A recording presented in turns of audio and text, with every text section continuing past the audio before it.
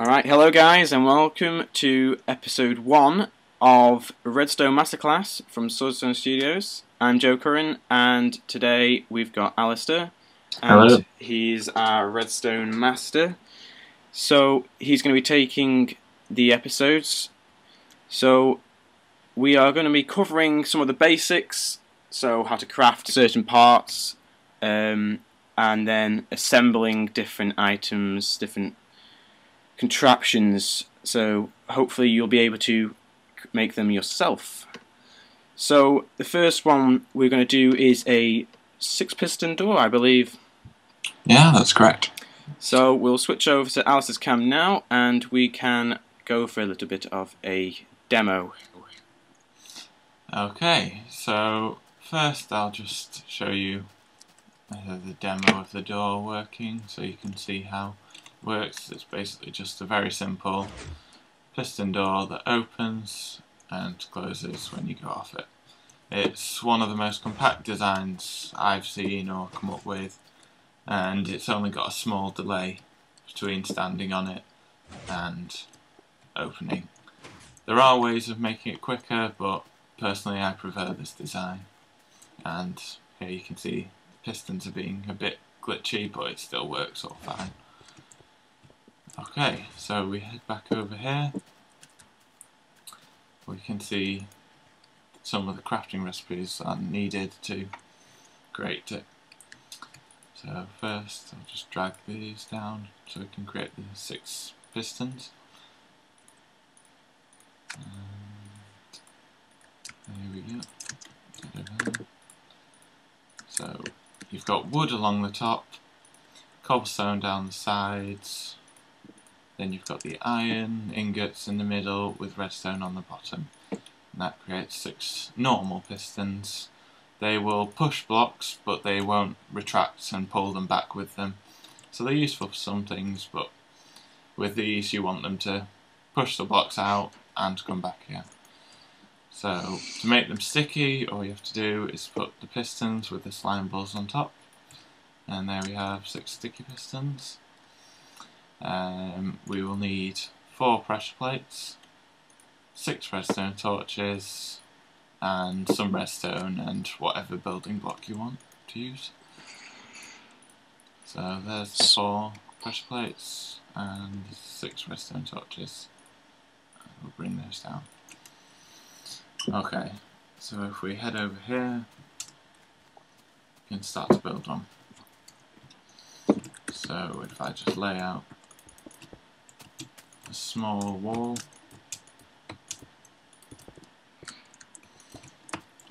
going along there.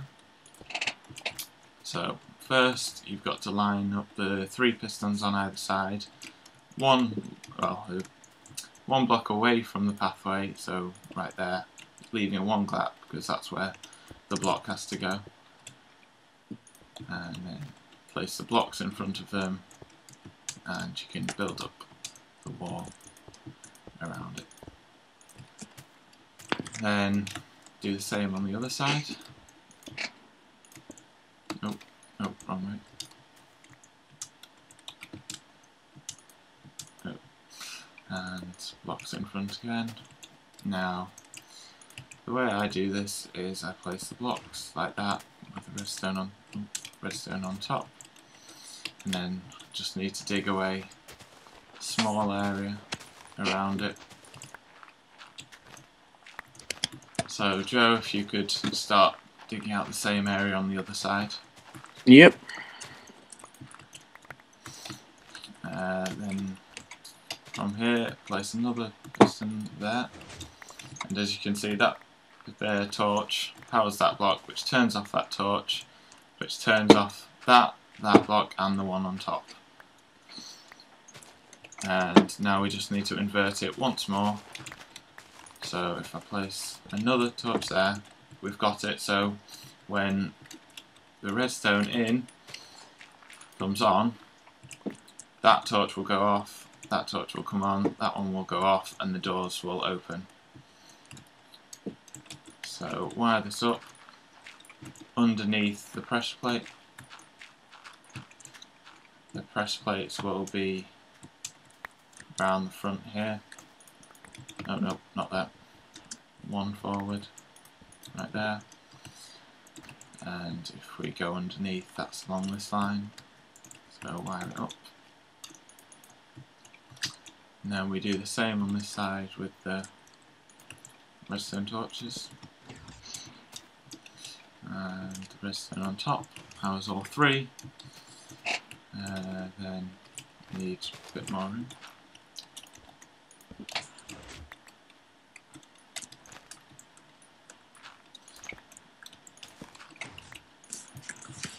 And there we have it.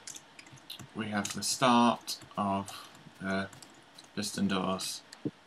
At the minute, it's only one way, but that's easily sorted if we extend the pathway out. And that may be what you want. Maybe you may want to just go one direction. So you can also use other control methods for opening the doors, such as levers, torches, anything. Uh, but this is a simple design to just get it working. And that's it. You can cover it all up fairly simply, leaving not much left behind. So, as you can see, I've run out of blocks, but you can just cover it all up within a fairly small space. And that is the piston door. So a very simple, quite compact design to uh, put for maybe your house entrance or whatever you want. Yeah. Right. And like like Alison mentioned, you don't necessarily need to have pressure plates. You could uh, you could use the uh, levers or or buttons, and they all act the same. They'll all open the door for, for X amount of time. And I think I broke that by blocking it. Yeah. You need to be careful where you place the redstone, but it's generally fairly safe. Yeah, just there. Um, right.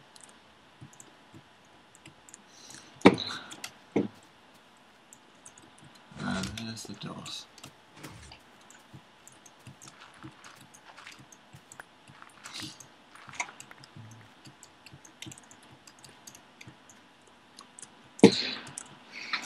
Anyway, if I hadn't cut that up, that would have been working.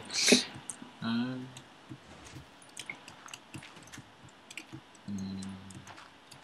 Either that or the server's just been a bit dodge. Yeah, as you can see, there's something wrong because this torch is off, which means that torch should be on, but it's. I don't know what it's doing, so I'll try restarting it and placing those back. And that should be working again. Or not.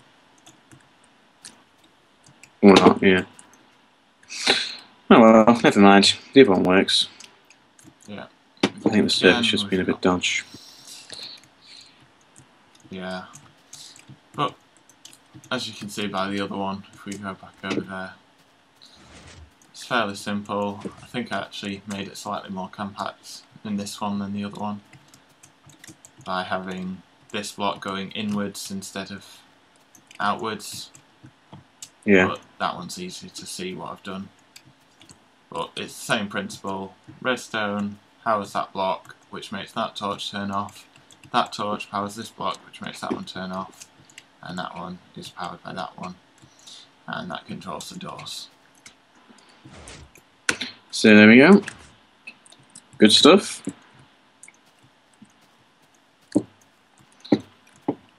And that's it for today's Redstone Masterclass.